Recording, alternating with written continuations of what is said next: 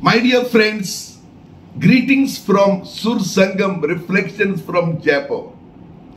This week we are talking about the kingdom of God, a favorite topic of Jesus Christ. What is the kingdom of God? That is the question we are going to answer today.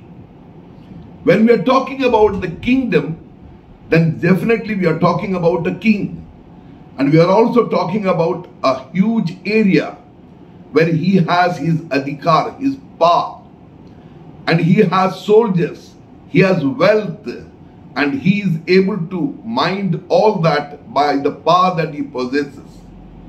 But when Jesus talks about the kingdom of God, surely it is not the kingdom of a person who rules over people, but one who comes to serve over people.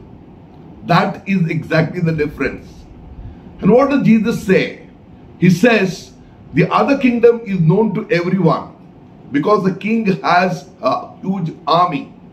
He has got a lot of officials. But in the case of kingdom of God, no such things. And he gives the example of a mustard seed, a small little seed. When you put it in the mud, then it sprouts. But it slowly, slowly it grows and becomes a huge tree. And he says in that tree, thousands of birds come and take shelter. How does it all happen? We cannot make out. It is slow, but it is sure. We know the plant is growing, but we cannot see it growing. Similarly, my dear friends, Jesus tells them, let there be kingdom of God. He said, seek first the kingdom of God and all the rest will be added unto you. What does he mean by that? Seeking the kingdom. It means that as a person in this world, I must first and foremost find out what it is means to have the kingdom of God in my heart, kingdom of God around me, kingdom of God in the society, and kingdom of God all over the world. Because the values of the kingdom outside and values of the kingdom inside are different. Most of the time, the values outside, the king tries to conquer over others. He wants to subjugate over others. Often, he may look after his people, but he is not caring for them that much. Surely, there are kings who do that and do look after their people well. But then there are values which are so precious for Jesus. And these are the values which make the kingdom of God. The value of love, the value of forgiveness, the value of joy, the value of togetherness. These are the values which are so basic for human living. Those are the values which Jesus is talking about. मेरे प्यारे भाइयों और बहनों जब प्रभु कहता है कि ईश्वर का राज्य तुम्हारे बीच में आए तो अपने प्रार्थना में भी वही वही कहता है, दाई किंगडम कम आपका राज्य आवे। इसका मतलब क्या हुआ? इसका मतलब यह है कि जब हमारे दिल में, हमारे अड़ोस पड़ोस में, हमारे समाज में ईश्वर के राज्य का जो मूल्य है, वो अभाव हो जाते हैं तो वहाँ पर मनुष्य ईश्वर के समान नहीं जीता है। Does not live a spiritual life He simply lives an ordinary animal life.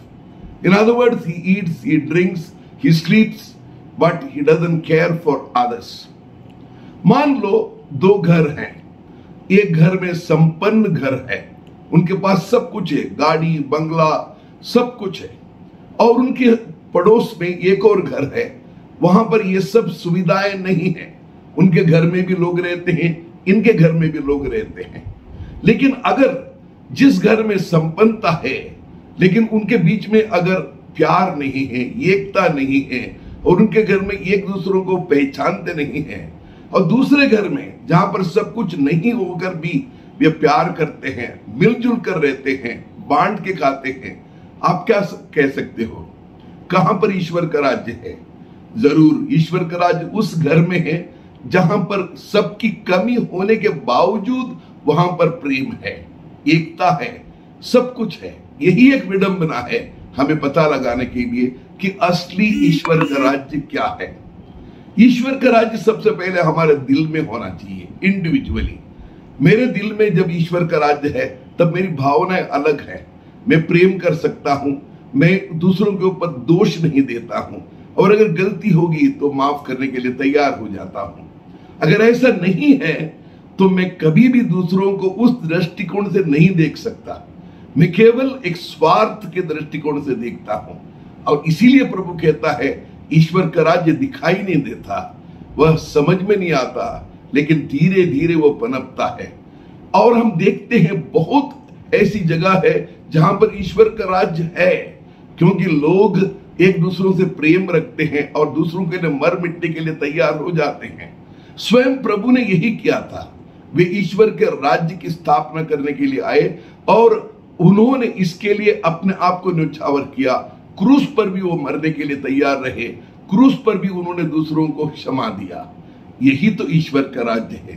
तो प्यारे भाई और बहनों, अब हमें समझ में आया कि ईश्वर का राज्य क्या है। We now know what it is we need to meditate upon it if we don't have this the kingdom of God in us we will not have shanti, we will not have peace, we will not have joy, which is so very basic to each and every one of us.